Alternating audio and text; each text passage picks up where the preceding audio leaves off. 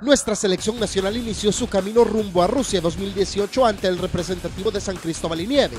La azul y blanco realizó un campamento en la ciudad de Miami, Florida, con el objetivo de preparar de gran manera el encuentro en el Caribe. Pues estar a tantos kilómetros, hacer nuestros, nuestra estrategia, sobre todo a balón parado, y también evidentemente cuestiones tácticas para intentar emplear durante el, el encuentro.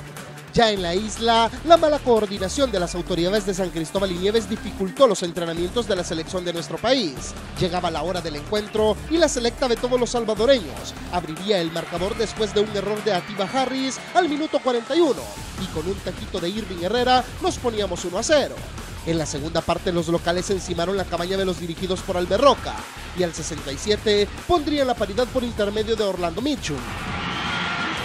Con una buena jugada individual, Sayer al minuto 71 desataba la locura entre los locales, pero al minuto 86, con un tiro libre de Arturo Álvarez y un cabezazo tras superar a toda la defensa de San Cristóbal y Nieves, Nelson Bonilla le daba el empate a nuestro país.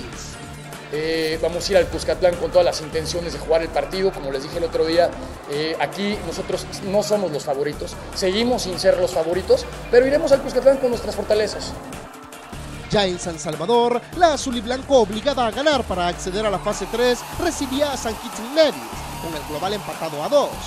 Muy temprano al minuto 2, Derwin Serén pondría en ventaja a nuestros muchachos marcando con el que se irían al descanso. En la segunda mitad, Nelson Bonilla al minuto 53 colocaría el 2 por 0.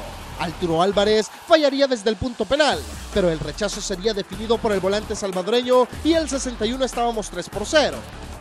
Siete minutos más tarde, los caribeños descontarían tras una desconcentración desde el tiro de esquina.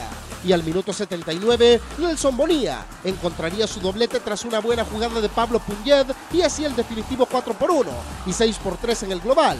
De esta forma, El Salvador clasificaría a la fase 3 rumbo a Rusia 2018. Informó para Fanáticos Plus Ernesto Espinosa.